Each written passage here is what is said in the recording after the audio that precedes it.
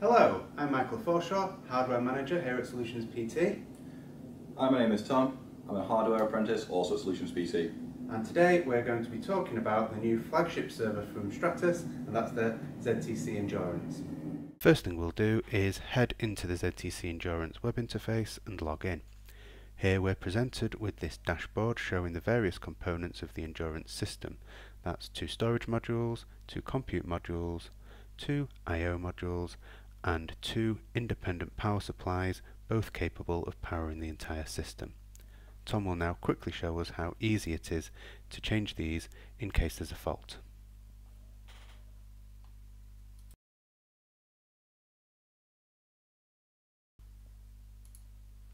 Now we'll head back to the web interface and drill a little more into the hardware. So this is a, our view of the hardware and in volumes we can see our two uh, fault tolerant storage devices.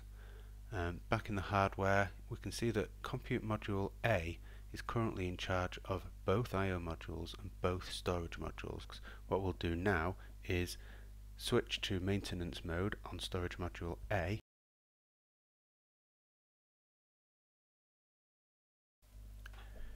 effectively simulating the ZTC Endurance system identifying an error or fault on that compute module, isolating the error by transferring the operational state to the healthy compute module, and as part of the Stratus service, you then receive proactively a replacement module. While Smart Exchange is happening in the background, I'll just discuss how that works in a little bit more detail. At any moment in time, ZTC Endurance has one active compute module and one standby module linked by a PCI fabric to each of the storage and I.O. modules.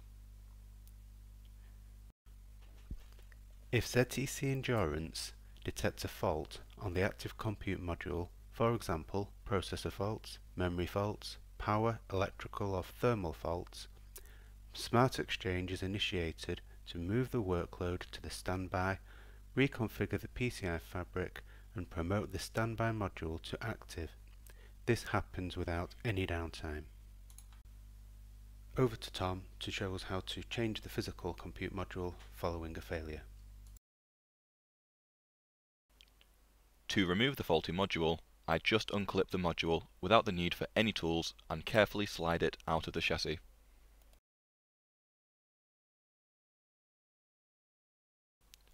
I then insert the replacement module and clip it into place. ZTC Endurance will do the rest.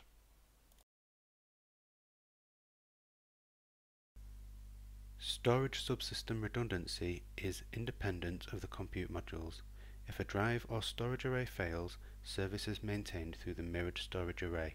A replacement storage array is provided and easily exchanged with the faulty module.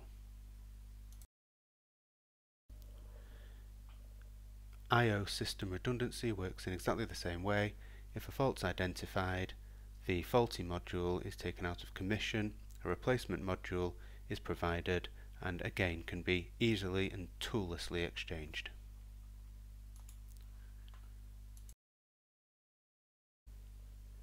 Back onto the compute modules, so the only thing that remains to do here is to bring compute module A back into commission.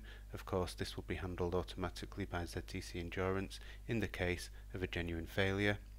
See here that compute module B is the active compute module and it has control of I.O. modules A and B and storage modules A and B and that will remain true even when we bring compute module A back online.